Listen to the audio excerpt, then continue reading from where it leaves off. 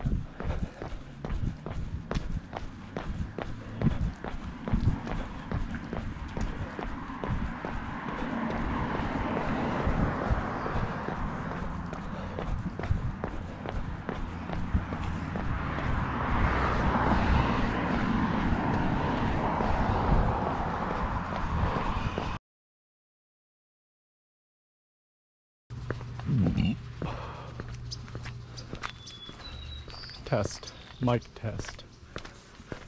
Testing the GoPro 8 audio microphone. Test.